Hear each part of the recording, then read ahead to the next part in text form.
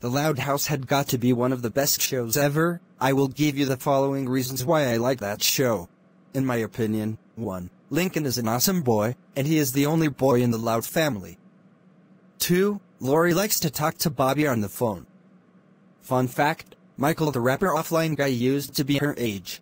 3. Leni pretends her stuff is invisible when they are gone. 4. Luna likes to play guitar 24-7.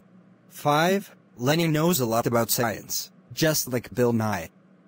6. Lily is the youngest child of the Loud family. And 7. Clyde is Lincoln's best friend. There's also a movie called The Loud House Movie, which I never watched. Do you know who likes this show? Michael the rapper offline guy, he made a salute on that show. And I don't know who hates this show, but anyways, The Loud House rocks. End of salute. Next up, we will be saluting on Help Wanted, an episode from SpongeBob. Then we'll be saluting on Bro Moments the Jason the Christmas Yes Sunny Day No Fan Hater.